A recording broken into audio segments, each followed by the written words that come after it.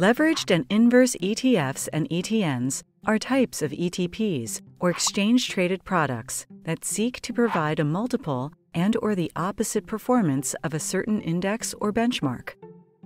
For example, an investor might buy a leveraged ETP in an attempt to potentially boost returns on a stock index they think will go up, or an inverse ETP in an attempt to provide a short term hedge to their portfolios if they anticipate a falling market. While the concept may sound simple, leveraged and inverse ETPs are complex and are subject to significant risks. Before using these products, investors should understand what they're designed to do, what risks they carry, and that these products are not suitable for most investors. Let's start with leveraged ETPs. Leveraged ETPs seek to provide double, triple, or quadruple the returns of an underlying index for one day. The amount of leverage is commonly indicated by their names, which often include terms like 2x, 3x, 4x, or ultra.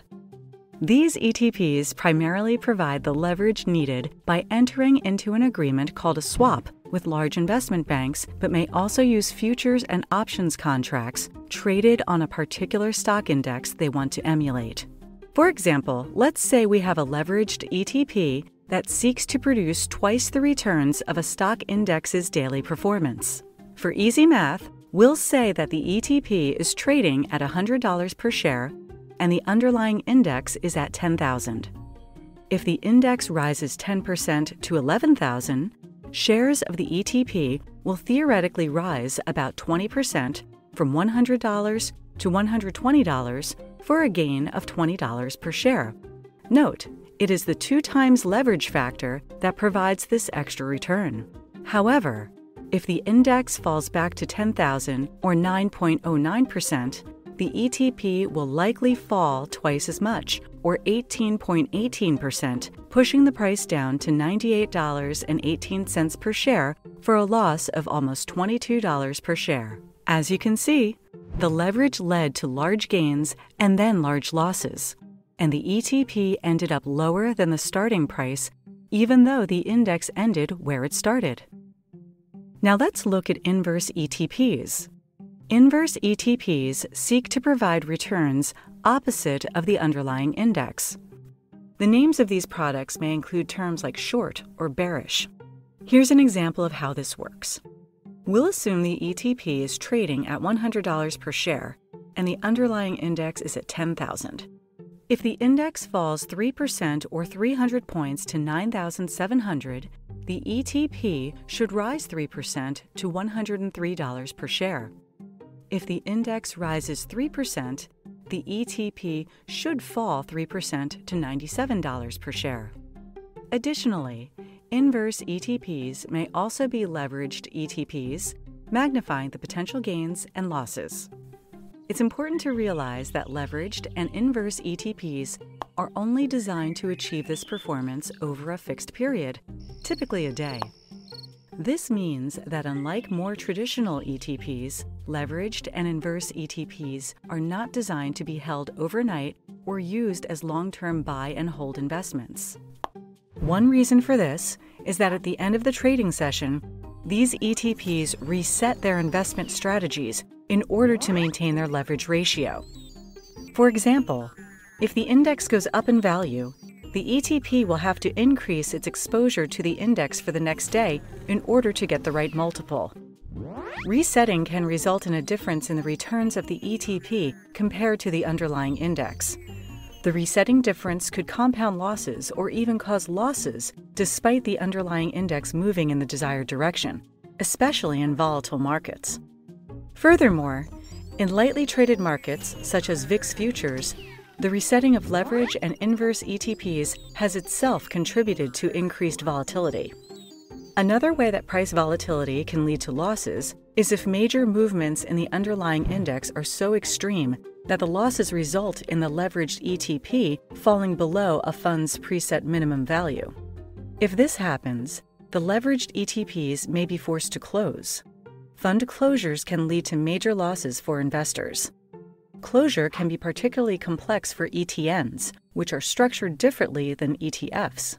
While it may feel a bit like alphabet soup, it's important to understand how ETNs are created and how market volatility could lead to an ETN being closed. Unlike an ETF, which provides ownership in a basket of securities, an ETN is actually a debt instrument issued by a financial institution and structured more like a bond. Instead of interest payments, the ETN promises returns linked to an underlying index over a certain period of time and to return the principal at maturity, usually 20 to 30 years out. This structure allows ETNs to very closely track the performance of their underlying index, but also comes with additional risks. First is credit risk.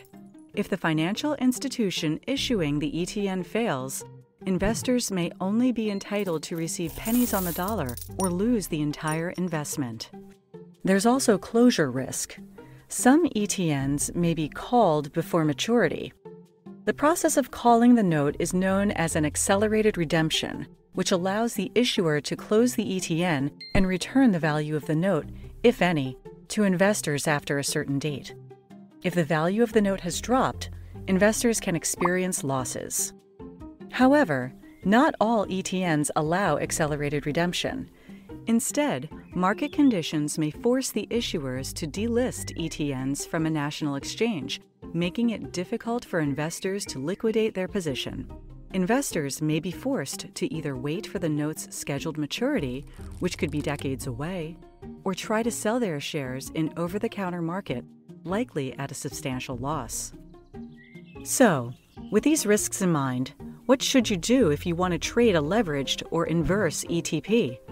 First, make sure you understand the product and its goals and check to see if it meets your objectives and risk tolerance. Also, familiarize yourself with the ETP's call features and maturities, and its costs and fees. All of this can be found in the prospectus and the pricing supplement, which also contains a history of whether the ETP has traded at a premium or a discount to its underlying net asset value.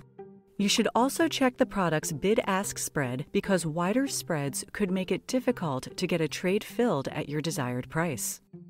If you're investing in a taxable account, you may want to review the product's history of distributing capital gains. Although ETFs are usually tax efficient, certain strategies may result in a higher tax burden than other types of ETFs. Be sure to contact a qualified tax advisor about your particular circumstances. Next, check with your broker to see what rules they have around trading leveraged and inversed ETFs and ETNs. Some brokerages will require you to sign an agreement acknowledging the risks. Finally, determine your entry and exit strategies before placing the trade. Have a plan for what you would do if the trade goes badly to avoid large losses. Remember, if you do decide to hold a leveraged ETP longer than a day, you may not get the returns you expected. You may even experience a loss despite the underlying index moving in a favorable direction. Leveraged and inverse ETPs are complex products that require caution. Take time to familiarize yourself with the benefits and risks of these investments.